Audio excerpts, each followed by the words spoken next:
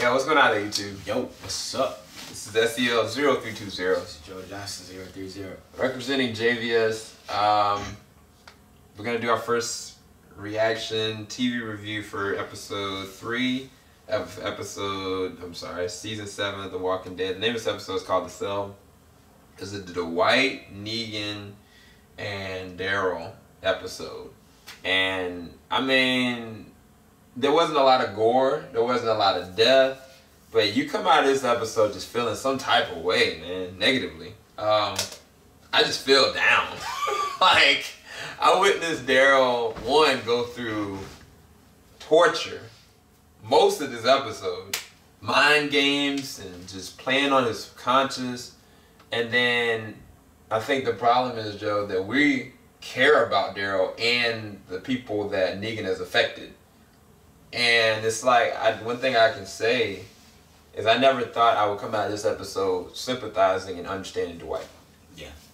I don't know. Where was your take of the episode? Um, yeah, definitely, definitely depressing. Um, but you know, it, it, it, it's, it's intended to do that just because so you can maybe feel the weight of, you know, uh, like people like Negan takes control of is, is not, they're not like subject to these like pleasantries and, and things like that. And, um, Cause like even even with Negan's character, like in the past, I've I I liked Negan as a villain. I was like, oh snap, you know, cause you you there was an aspect of he was kind of justified, kind of for what he did, uh, just because Rick and the group attacked him first. Yeah. But now it's like, dag, like, um, you know, he he literally takes everything, Yeah. everything from you. Yeah. I mean, his Um, own men seem like they almost suffer more than the people that are actually getting killed. Yeah. Like in the episode, it was dude. He was like, "I don't want to come back." He's like, "Take me out. It'll be worse, better." And so it's like, who Man are the real wanted- that victims? man wanted to go, put put out his misery. And, and all he was doing was working for niggas. Yeah. He wasn't. It wasn't like you know. Yeah, fam. And so it's like, who are who gets it worse? The people, you know, that are in their own kind of section and their own kind of group that work under Negan, or the people that actually are working for Negan as his guerrillas.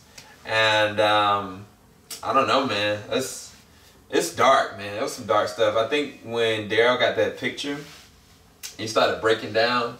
I, I was like, I knew exactly what the picture was. And as soon as I, I was like, bro, I just can't right now, man.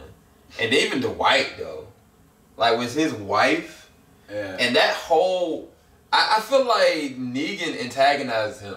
He No, he, he definitely. he Oh, definitely. he looks at people that are strategists and are potential leaders, and he just keeps prying them the most. And that's why I, I think that's the reason why he gives Rick such a, a issue is because he can see that same exact thing with Dwight, and it's like, I mean, dang, I don't know, man. It was rough. Jeffrey Dean Morgan is an amazing villain. Like he plays that role too with T.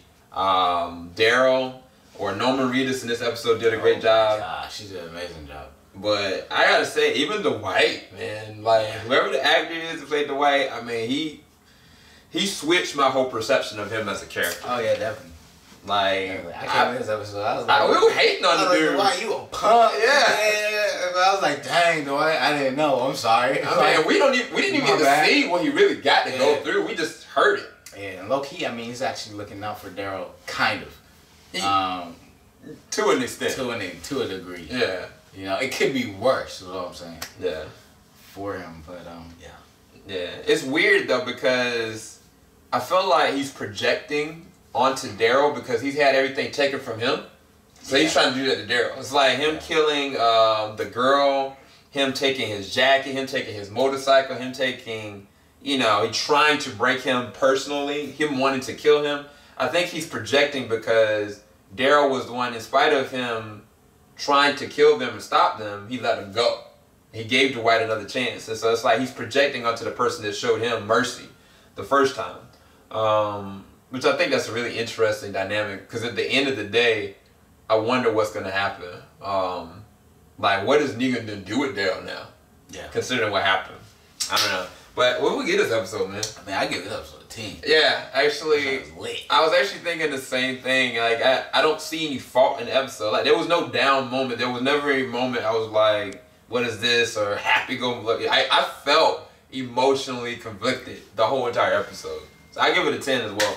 Um, but yeah, hope y'all uh, stay tuned. We're going to do like a reaction video as soon as possible. Keep it locked. JVS, ain't going to stop. Peace, everybody.